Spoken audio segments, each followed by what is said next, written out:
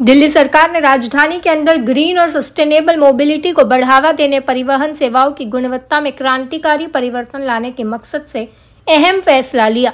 दरअसल, सीएम अरविंद केजरीवाल ने Delhi motor vehicle aggregator and delivery service provider scheme 2023 को अपनी मंजूरी दे दी। ये स्कीम दिल्ली में यात्री परिवहन सेवाएँ प्रदान करने वाले एग्रीगेटरों को और डिलीवरी सेवा प्रदाताओं को रेगुलेशन और लाइसेंसिंग के लिए एक प्लेटफॉर्म मुहैया कराएगी। अब ये फ़ाइल एलजी ऑफ़िस को भेज दी गई है। दिल्ली सरकार ने राजधानी के अंदर ग्रीन और सस्टेनेबल मोबिलिटी को बढ़ावा देने, परिवहन सेवाओं की गुणवत्ता में क्रांतिकारी परिवर्तन लाने के मकसद से अहम फैसला लिया। दरअसल, सीएम अरविंद केजरीवाल ने Delhi motor vehicle aggregator and delivery service provider scheme 2023 को अपनी मंजूरी दे दी। ये स्कीम दिल्ली में यात्री परिवहन सेवाएँ प्रदान करने वाले एग्रीगेटरों को और डिलीवरी सेवा प्रदाताओं को रेगुलेशन और लाइसेंसिंग के लिए एक प्लेटफॉर्म मुहैया कराएगी। अब ये फ़ाइल एलजी ऑफ़िस को भेज दी गई है।